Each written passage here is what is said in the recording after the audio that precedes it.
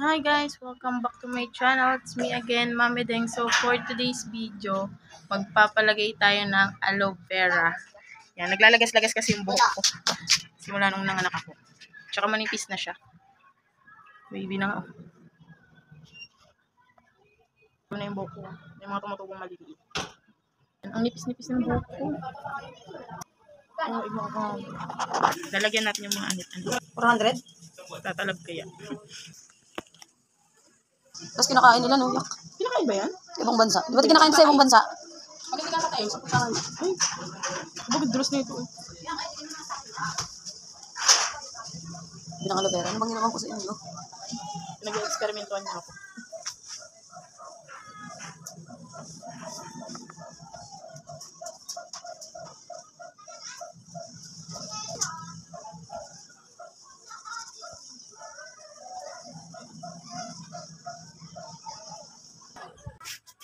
Mahal yung nito.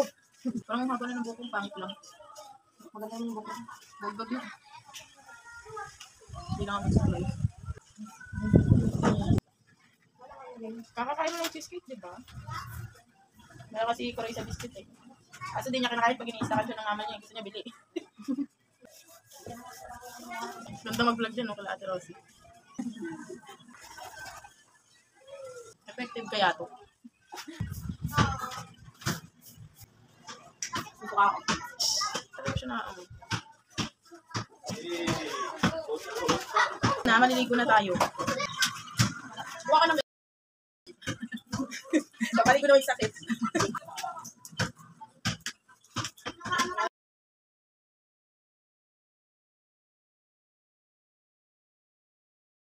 Lamig dito.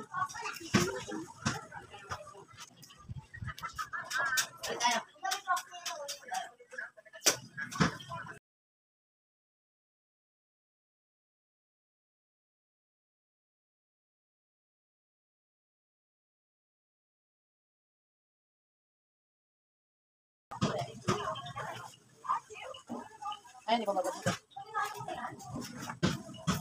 Bibili na lang ako ulit. Para talaga gagawin ko na lang. Ah, sige.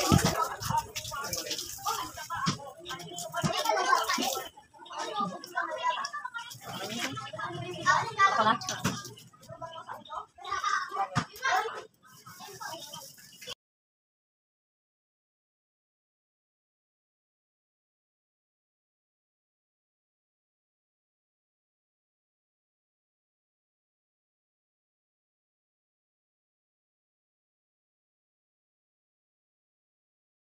Guys,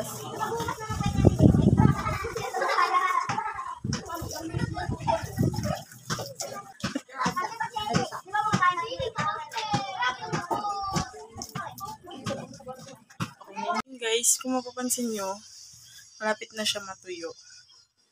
Patutuyuin na lang natin to and papakita ko sa inyo yung result. Guys! So, ayan, natuyo na nga yung buhok ko and tignan natin kung may nagbago nga talaga. Ramdam ko naman na may nagbago talaga. Actually, di pa ako nagsusuklay pero ang ganda na niya, oh. oh. At saka pag ginaganyan ko siya, oh, Mari, wala nang lagas. Oh, hindi katulad nung ano, lately talaga hindi lang siguro mga 15 buhok na nalalaga sa akin sa kagaganon ko na kagaganon.